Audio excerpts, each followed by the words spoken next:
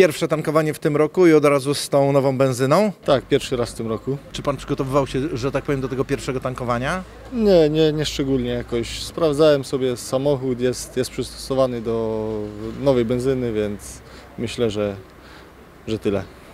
Rozumiem, że sprawdzał Pan też na stronie internetowej, tak? Bo jest taka specjalna strona, gdzie można sprawdzić, czy, czy też e, już oznakowanie w samym samochodzie wskazywało na to, że można po prostu bezpiecznie tankować te paliwo.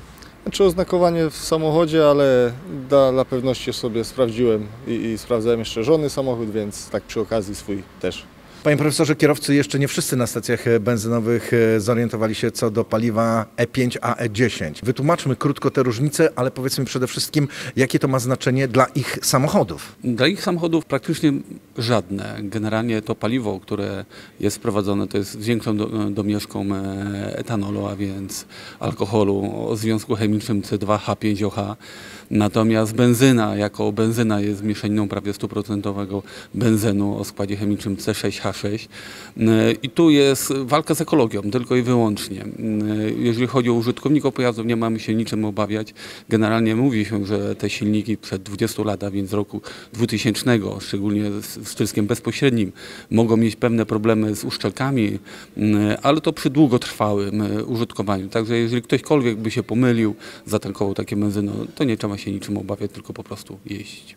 Jakie mogą być te objawy w samochodzie, że mu, które mogłyby wskazywać, że jednak ten samochód, ten silnik nie jest przystosowany e, do do tankowania takiego paliwa? Generalnie takim objawem stosowania tego paliwa to jest słabsza moc. I w przypadku, bo wartość opałowa e, alkoholu jest o 1 trzecią niższa niż benzyny. E, Ale przy tej słabszej mocy e, możemy obserwować ławienie silnika, bo jeżeli my doprowadzimy do, w gaś- silnikach gaźnikowych, gdzie mamy uszczelki, gdzie mamy pewne e, zwężenia i te zwężenia, jeżeli nam się jeszcze bardziej uszczelka nam spuchnie i przymknie nam jakiś e, gardziel dolotową, jakąś rurkę emulsyjną, to wtedy możemy mieć dławienie. W przypadku silników, gdzie mamy jeszcze pompki membranowe, gdzie membrana jest elastyczna i ona po prostu zostanie rozpuszczona w wyniku dodatków tych alkoholi e, i ta membrana właśnie sła- słabiej działa i to po prostu możemy odczuwać jeszcze bardziej s- spadek mocy. A w przypadku no, z, bezpo- z bezpośrednim wtryskiem paliwa, tak jak powiedziałem, uszczelniacze mogą doprowadzić do pewnego e, rozszczelnienia, ale to są tak drastyczne skutki, o których powiedziałem, że praktycznie nie będą zauważalne. Generalnie, jeżeli ktoś by długo eksploatował taki silnik, który nie ma przystosowanych przewodów elastycznych, to po prostu będzie e, czuł, że mogą być nieszczelności, te przewody będą miękkie, będą e, przytykać się no i to będą e, problemy takie eksploatacyjne. Czy rzeczywiście możemy odczuć zmiany klimatyczne po wprowadzeniu i zamianie benzyny tej oznaczonej E5 na E10? Wytłumaczmy, na czym w kontekście oczywiście ochrony środowiska ta zmiana polega. Tak, w szczególności chodzi tutaj o ograniczenie emisji dwutlenku węgla. Jeżeli wykorzystujemy czystą benzynę, która nie zawiera żadnych biokomponentów, wtedy ta emisja jest największa.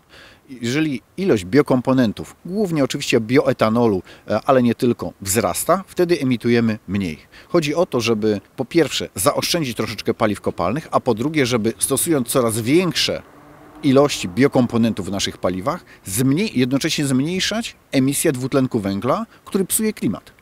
Jeżeli e, przyjmiemy, że mamy coraz więcej samochodów, zużycie paliw płynnych, głównie benzyny i oleju napędowego, cały czas rośnie, w tym w naszym kraju, to musimy poszukiwać alternatyw, które pozwolą nam po pierwsze troszeczkę uniezależnić się od rynku paliw kopalnych, a więc również od importu, a po drugie jednocześnie musimy mieć na uwadze ochronę klimatu. A więc im mniej CO2 wyemitujemy z naszych samochodów, tym lepiej. No tak, ale czy to rzeczywiście będzie, nie wiem, wkrótce, mówimy o miesiącach, o latach, na tyle odczuwalne, że może mieć to wpływ na atmosfery, czy też dopiero całkowita zmiana i możliwość wyprodukowania takiego biopaliwa doprowadzi do tego, że rzeczywiście możemy to globalnie odczuć? całkowita zmiana byłaby najlepsza. Jeżeli byśmy mogli e, jeździć na paliwach, które sami jesteśmy w stanie wytworzyć i dzięki którym ta emisja CO2, czyli dwutlenku węgla, byłaby no zdecydowanie, zdecydowanie niższa, to byłoby najlepiej.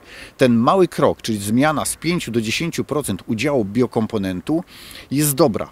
Dobra, ponieważ emisja CO2 z bioetanolu jest około 70% niższa niż z benzyny. A więc to już jest coś. Nie wszystkie samochody mają oznaczenie u siebie na wlewie E5 i E10. Lepiej jednak zapoznać się i zajrzeć na stronę internetową i zorientować się, czy ten nasz samochód, zwłaszcza kilkunasto czy kilkudziesięcioletni, będzie przystosowany do tego typu paliwa.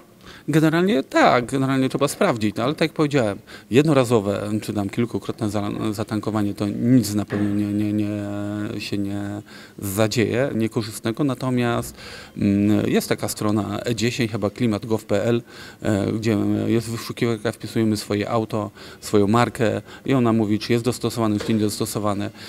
Generalnie przejście na paliwo to mocniejsze 98 e, będzie tylko z korzyścią dla tego silnika, jeżeli ktoś się obawia o skutki takiego paliwa E10.